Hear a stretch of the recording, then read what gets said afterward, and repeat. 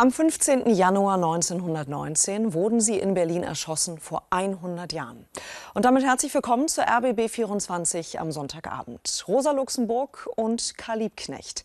Tausende Menschen haben heute in Berlin an die Kommunistenführer erinnert, mit der traditionellen Kranzniederlegung in Friedrichsfelde, aber auch mit Demonstrationen. Doch was ist das Erbe von Rosa und Karl? DDR-Kritiker sagen, der Umgang mit den beiden sei nicht differenziert genug, fast schon romantisierend. Und auch 100 Jahre nach ihrer Ermordung haben die beiden neue, ganz junge Anhänger. Jugendliche und junge Erwachsene auf dem Weg durch den Berliner Tiergarten. Alle aktiv in der sozialistischen Jugend, die Falken. Wo Karl Liebknecht vor 100 Jahren erschossen wurde, legen sie Blumen nieder. Sie haben sich zuvor intensiv mit dem Vermächtnis Luxemburgs und Liebknechts sowie der Geschichte rechter Gewalt auseinandergesetzt. Für sie gehen Erinnerung und politisches Engagement Hand in Hand.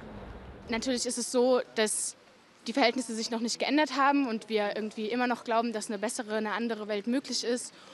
Und sich an historische Ereignisse zu erinnern, kann irgendwie produktiv sein für das eigene politische Weiterkommen.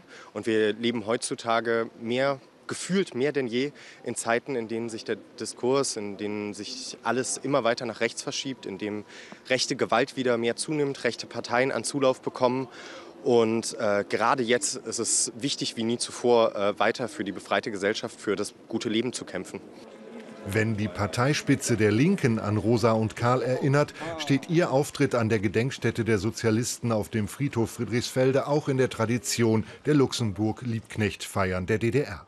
Das war verordnete Verherrlichung und wenig Freiheit für Andersdenkende diese heiligen Legende von Karl und Rosa war ein wichtiger Mythos für die DDR. Und gleichzeitig wurden Leute verhaftet, weil sie zu diesem Grab marschiert sind und diesen Satz auf ihrem Transparent hatten, weil eben das ZK der SED jedes Jahr festgelegt hat, welche Parolen dort gezeigt werden durften.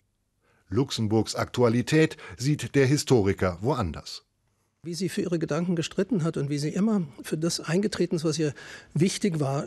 Sie müssen auch bedenken, sie war eine Frau. Sie hat 20 Jahre für eine Partei gekämpft, die sie nicht mal wählen durfte, geschweige denn, dass sie irgendwelche Mandate dort in Aussicht gehabt hätte. Sie hatte nie irgendein Amt in der SPD und hat sich für diese Partei aufgeopfert wie wenige andere.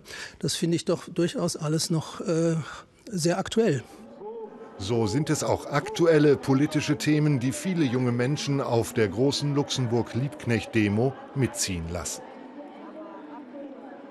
ich sehe mich in der Mitte einigermaßen der Gesellschaft, aber ich sehe, dass es Leute gibt, denen es schlechter geht, die härter arbeiten, als ich es wahrscheinlich tun werde. Das halte ich für ungerecht, aber ich sehe auch, dass es Leute über mir gibt, die weniger arbeiten, deutlich weniger arbeiten und eben deutlich mehr kriegen. Die Frage ist natürlich auch, äh, die Demokratie, die wir haben, die parlamentarische Demokratie, ist sie so, wie sie ist? Ist sie denn perfekt? Ist sie das Beste, was wir haben können? Oder können wir eigentlich noch was viel Besseres haben? Es ist kritischer Protest, der viele 100 Jahre nach dem Mord an den Sozialistenführern antreibt und nicht nur ritualisiertes Gedenken.